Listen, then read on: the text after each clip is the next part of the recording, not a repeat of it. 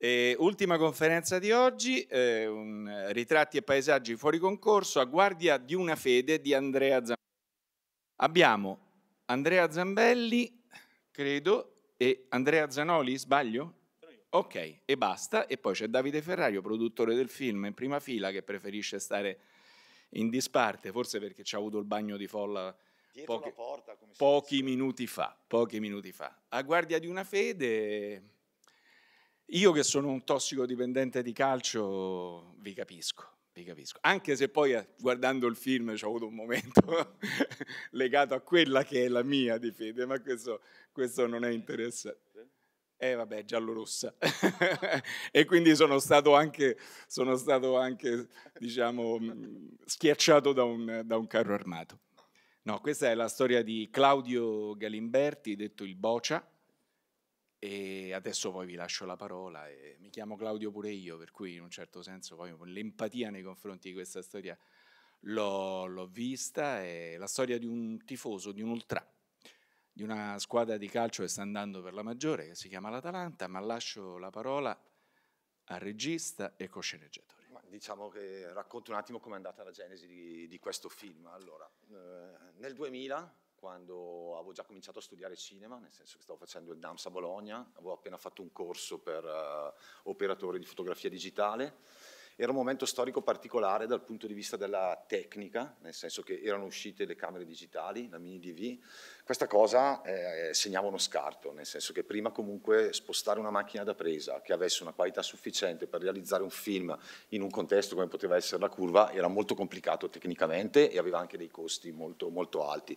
Diciamo che tutta la mia generazione di, di, film, mia generazione di filmmaker si è avvantaggiata no, di, questa, di, questa, innovazione tecnologica sul digitale. Improvvisamente avevamo delle camere piccole ma di qualità costava poco perché costava 4.500 lire. Ma questa è stata una rivoluzione proprio in ambito sì, che... cinematografico per i filmmaker, insomma. Sì, sì, sì, beh, in Italia soprattutto poi ha dato luogo, tanti filmmaker hanno iniziato proprio in, in, quel periodo lì, proprio perché dava la possibilità di cominciare a fare un film, ovviamente non avevi una produzione, eri all'inizio, no? quindi...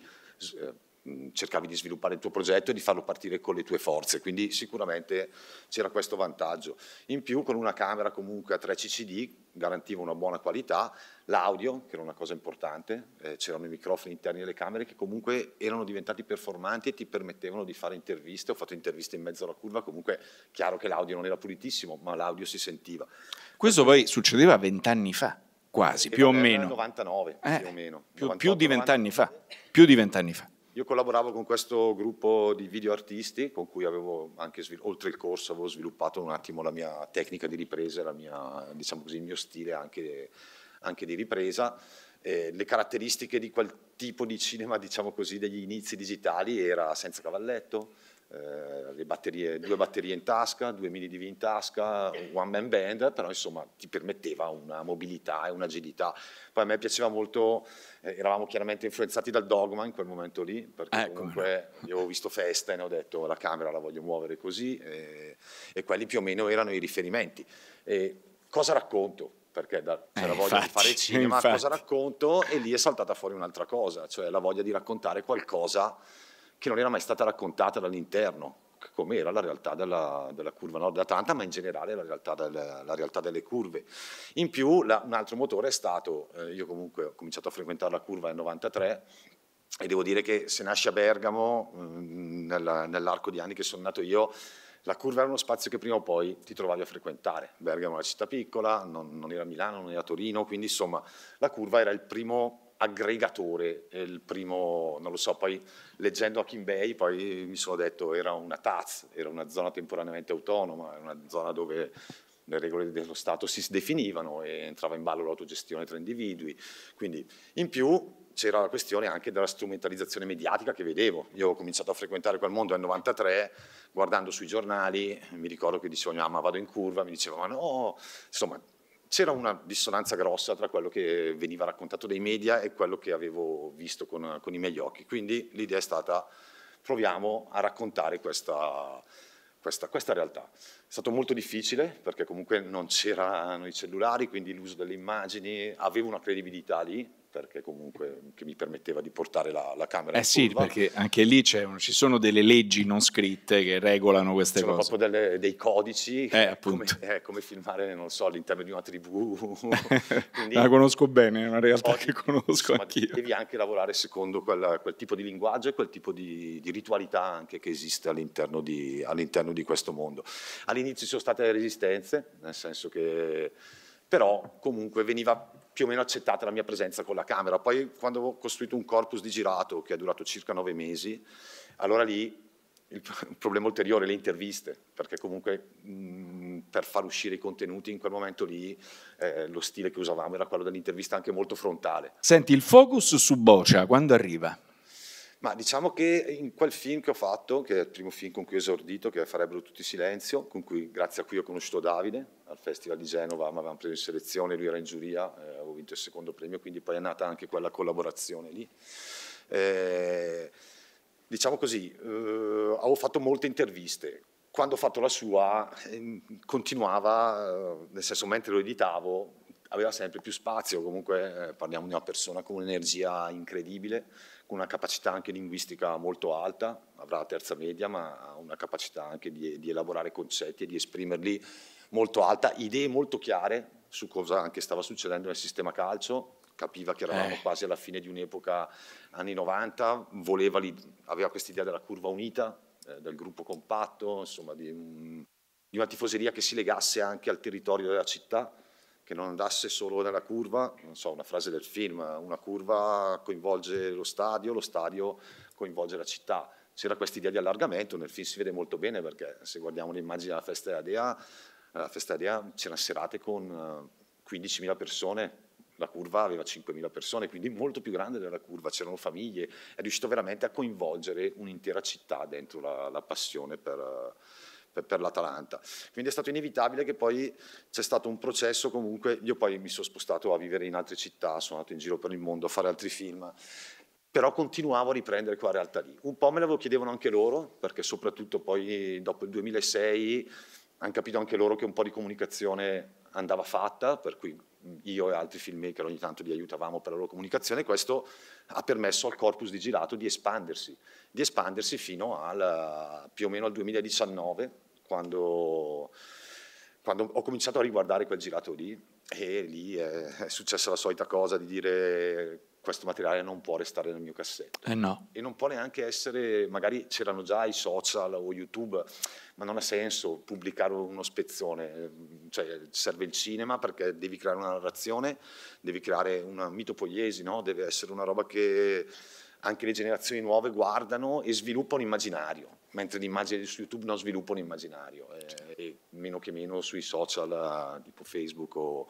o, o, o giù di lì. Quindi l'idea di fare un film, a quel punto sono tornato da Claudio e ho detto guarda, mh, qua c'è, abbiamo visto un po' di materiale assieme, gli ho detto qua c'è una storia da raccontare. Per chiudere questa storia servi te. Anche Te la senti? e all'inizio detto, lui è stato molto esposto mediaticamente, anche molto eh, lo so, lo so, certo, ma insomma. nel film si evidenzia, è evidente questo. Sì, cioè, secondo me comunque, mh, almeno questa è anche la percezione della città, eccessivo il suo accanime- l'accanimento verso di lui, perché comunque insomma un processo per l'associazione a delinquere con una condanna a sei anni per una curva che il processo poi mh, eh, il giudice ha detto non è un'associazione delinquere, sarà tifo, sarà anche tifo violento, ma non c'è business, non c'è malavita, insomma, quindi l'accanimento... Cosa che invece in altre tifoserie c'è stato. E, Invece è stato cioè, magari, ecco, mh, noi siamo una tifoseria comunque provinciale, con delle dinamiche molto più controllabili, le grandi piazze hanno dinamiche molto più complicate e hanno anche un volume eh, di business molto più, molto più alto. La nostra situazione invece era anche abbastanza controllabile e chiaramente il gruppo che poi Claudio ha tirato su era un gruppo molto coeso, molto compatto, quindi con una certa forza che ci ha permesso per esempio di non avere infiltrazioni di malavita organizzata Eh, all'interno infatti, della curva eh, e, infatti, che, e altro tipo di che situazioni. è già, che è già stato una... Inoltre il cuore, Prego. nel senso, non so, essendo cresciuti comunque in quella fase loro tra 91 e 96, c'era molto l'idea che la curva deve fare solidarietà, la curva è anche un'entità che agisce sul sociale. Adesso sembra strano dirlo, però eh, la curva ha spinto mh, quasi 120.000 euro per un asilo pediatrico in Ruanda, che si dice, il reparto pediatria dell'ospedale di Bergamo.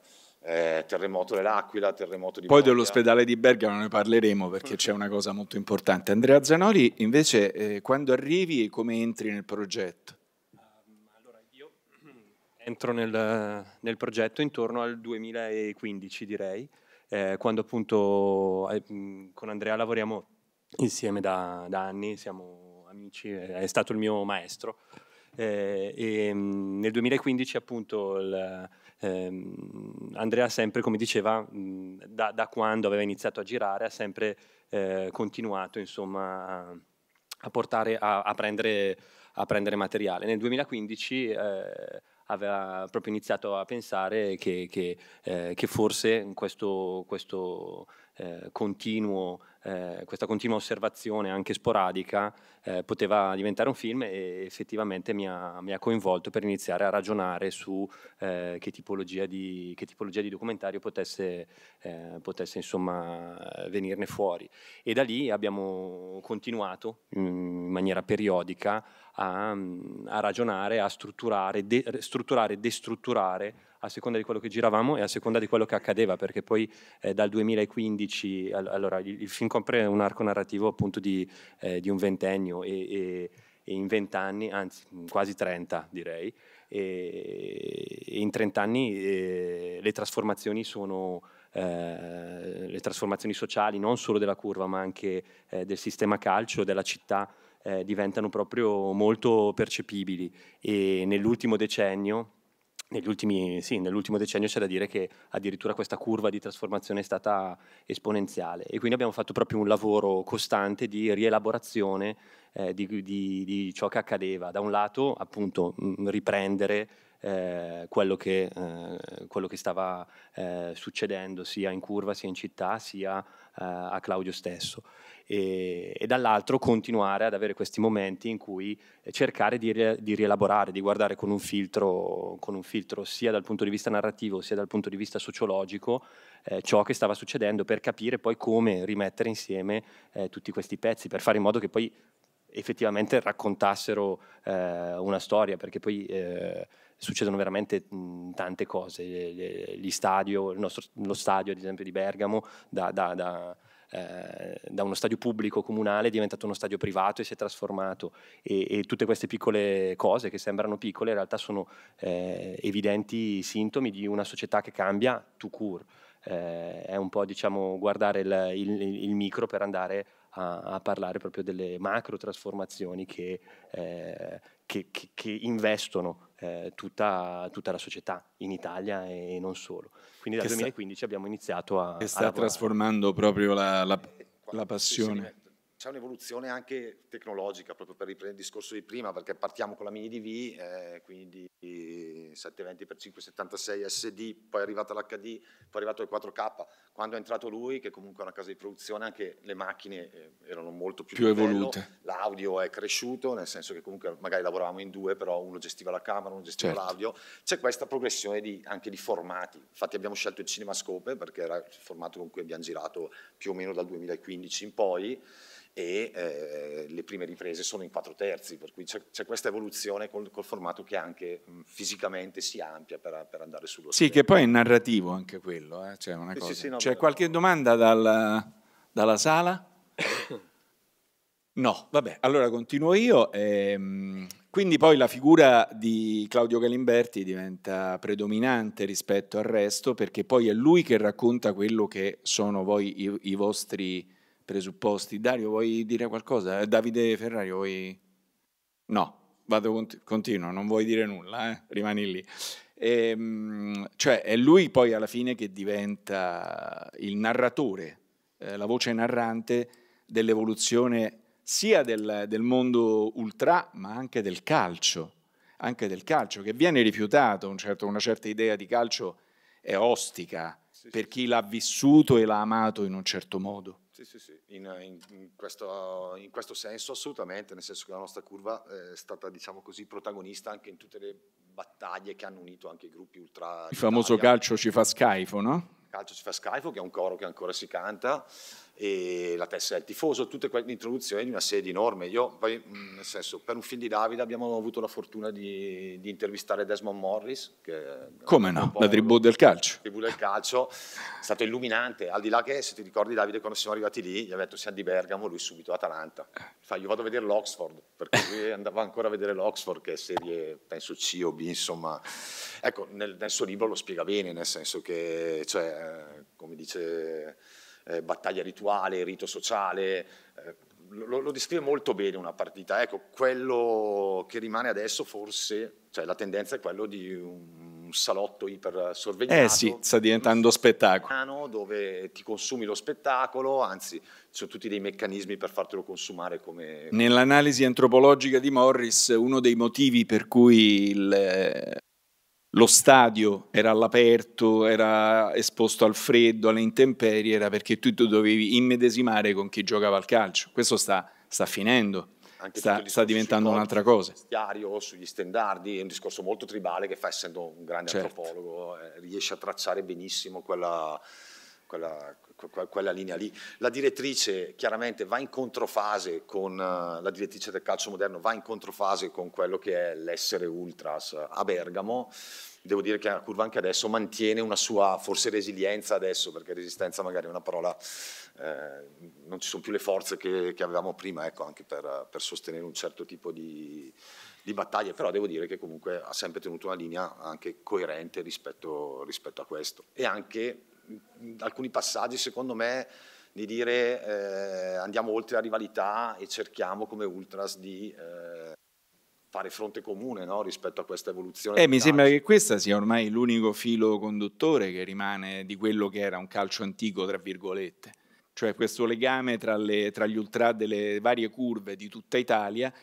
La, mi pare che la, è, è, evidente la, il tatuaggio che Claudio Galimberti si fa sul braccio della, del simbolo della Triestina, che è stato acerrimo nemico precedentemente, no, che invece nel momento in cui...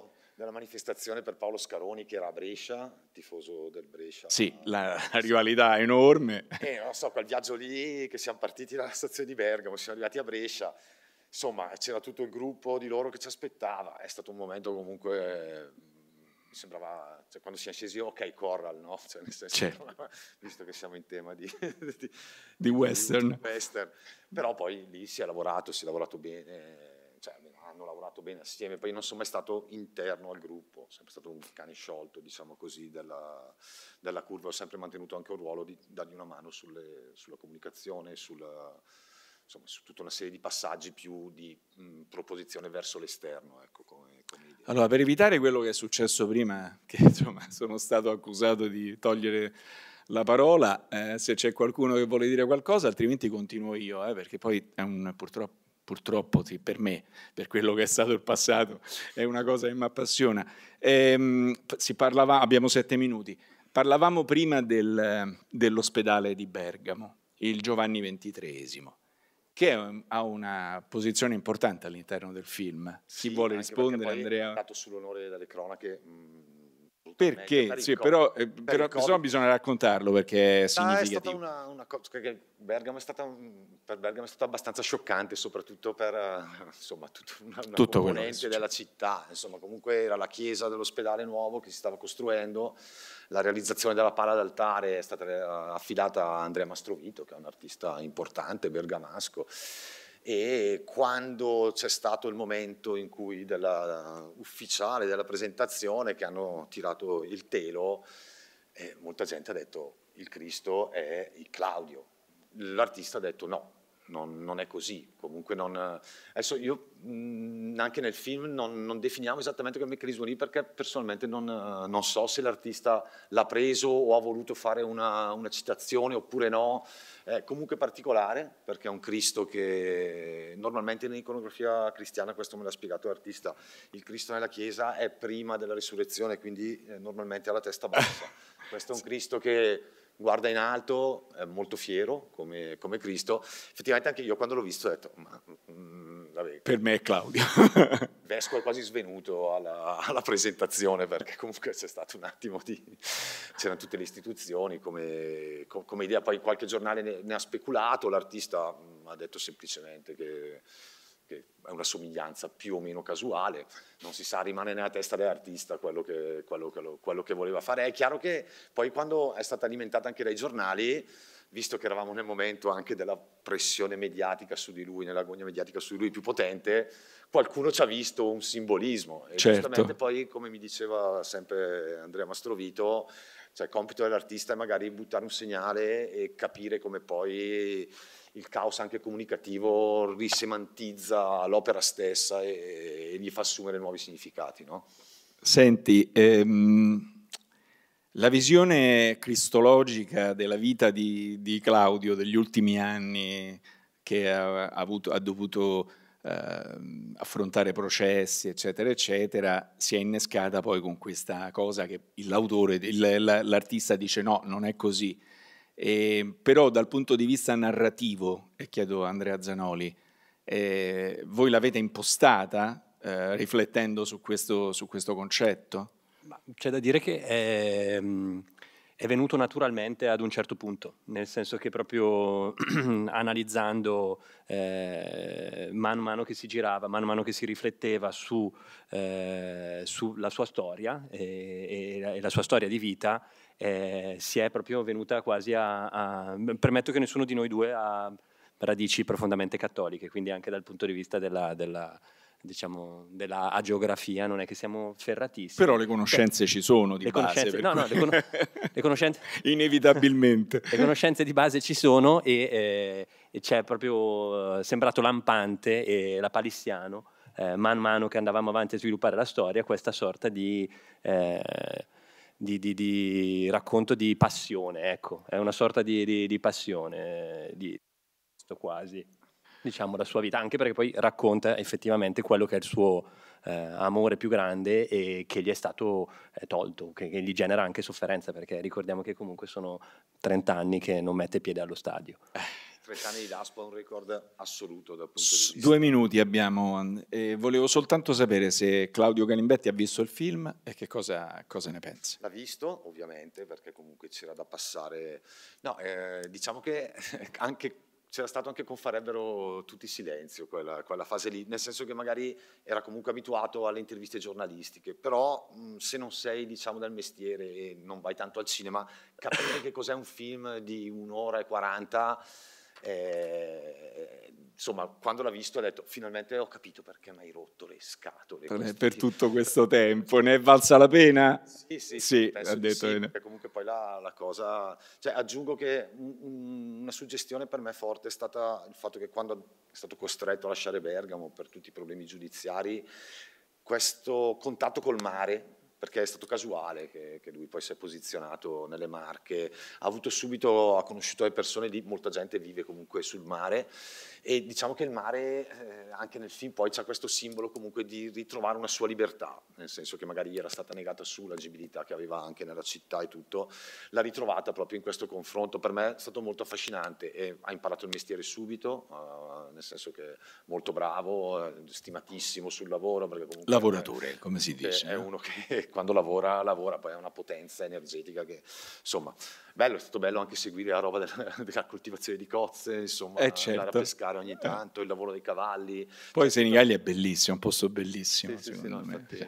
Allora io poi voglio instillare il dubbio a chi non ha visto il film e voglio dare una cosa, una curiosità così almeno dice, ah, allora vado a vedere così. Finale, meraviglioso, complimenti, abbiamo finito questa conferenza.